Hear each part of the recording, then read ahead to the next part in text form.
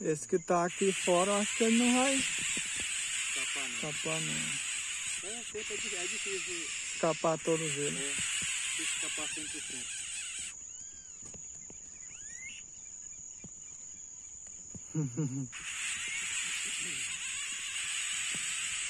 Eu acho que tem mais ou menos, se eu contar aqui, tem um, dois, três, quatro, cinco, seis. Tem seis. Filma e tu, a tu envia o vídeo pra mim também. Tá.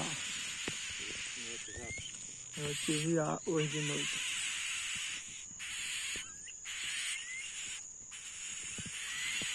Muito legalzinho esse novinho, ó. É. Aí é tipo, são mil contas, né? Tudo. É. A mesma coisa do ser humano novinho, ele não tem noção de nada. É verdade. Ele não sabe nem que você tá vivo.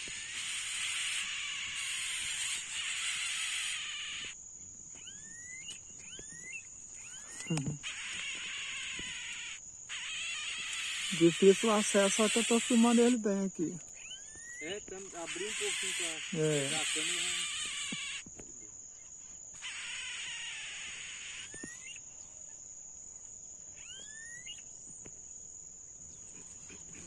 Vergonha, gente.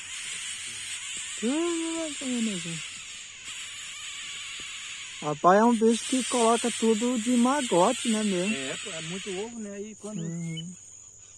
quando tira é um monte mesmo. Ó, estão fome. Então, Eles estão que querem porque querem comer. comer. Já estão perreados lá pra preparar a comida deles. Eu terminar a gravação aqui, eu vou botar esse aqui dentro do ninho de volta. O melau de cuspe, que é pro, É, pra cobra não vir.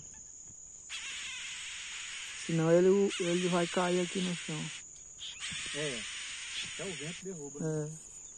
Sem vergonha, né?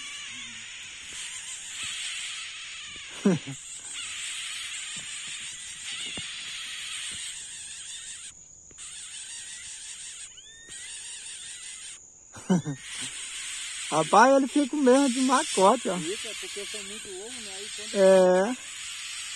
aí E outra coisa, ele fica esperando o rancho, né? fica. Isso come, viu? Come. Agora não sei de onde que a, que a mãe deles consegue é, é, trazer é, é tanto alimento, né? É. Pra É eles. porque do, do, desde que eles botam muito, É, muito, eles são muito também trabalhando na alimentação. são deles. muito, é. Um traz uma coisa, outro traz outra e É, a quantidade de comer o outro vai buscar. Olha, ó, pode ver o monte que estão ali. Ó. é tem um monte que estão aí já É, vamos preparar a alimentação deles. Né? preparando.